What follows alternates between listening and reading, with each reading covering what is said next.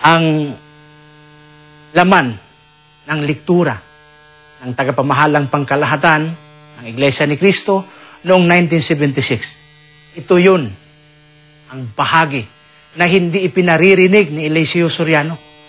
Pinutol ni Eliseo Soriano upang maiparating na ang tagapamahalang pangkalahatan ay mabagsik.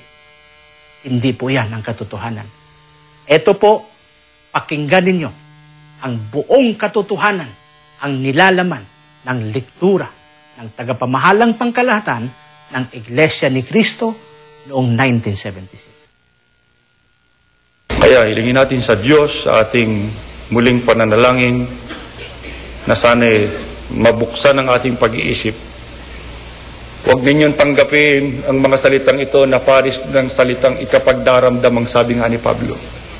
Tanggapin sana ninyo na ang mga salitang yan, siyang kailangan natin, siyang gamot sa matinding sakit na maaaring pumatay sa atin at sa iglesia.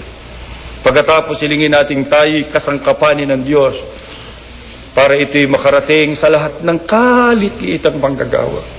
At inihiling ko sa Diyos, yung mga manggagawang tapat, lalo na yung mga manggagawang ginugugol ang buhay nila sa paglalakbay para makarating sa destino at ang kanilang buhay talagang nakahandog na sa Diyos, hindi pagpalain. Pagpalain ng Diyos kung hindi ko man sila nakikita, kung hindi ko man nasiyasat ang kanilang mga sa dami nga nag, nagkatabon-tabong mga ulat. Pero ang Diyos, hinihiling ko sa Kanya, itindig niya ang mga tapat na mga manggagawa. Basbasan niya, palakasin niya. Kung hindi man maging sagana sa buhay na ito't maaring ikahiwalay pa niya, makatapos man lang siya ng takbuhin. Ang iglesia ay madala niyang karapat dapat.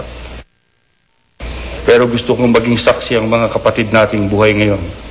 Lalo na ang mga nakakita ng hirap at sakit ng sugo at saka ng iglesia na hindi natin kukonsintihin ang ganitong masamang gawa. Puputulin natin yan, sukdulang walang maisugo ako sa pagsamba. Hilingin ko sa Diyos na siya ang gumawa ng paraan. Pero hindi ko papayagan na kailan pa man at pagkatapos ng pulong na ito, ay makasilip ako ng isa pang katiwalian. Hindi ako papayag na hindi putulin niya.